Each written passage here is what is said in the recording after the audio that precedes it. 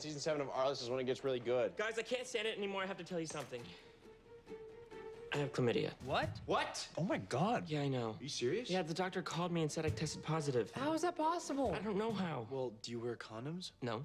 Well, that would be how. Artie, are you kidding? One time I bought some, I got nervous because they were locked in a cabinet, and the pharmacist asked me what kind I liked, and I panicked. So then she gave me these ones that were all greasy and they smelled like banana. It was like putting on this, a tiny, greasy, banana flavored wetsuit. No, Artie, okay, that's, there's no excuse. That is completely irresponsible. You have to wear one every time. Stop yelling. I'm sure he feels bad enough. No, Blaine, this isn't okay. Artie needs to be slut shamed. I'm slut shaming you, Artie. You're lucky you just caught chlamydia. I mean, you could have caught something that can't be cured. Yeah, you could have gotten somebody pregnant. Just think about that. Slut! Slut shame. Well, I'm sure you're getting treated, right? Yes, I take antibiotics for two weeks and then I go for a checkup to make sure it's cured. Yeah, have to tell the girl you slept with. Which one? What? I'm, I'm sorry, which one? Yeah, I've been sleeping with two different girls. Who are you? It's like I don't even know you. Sam, calm down.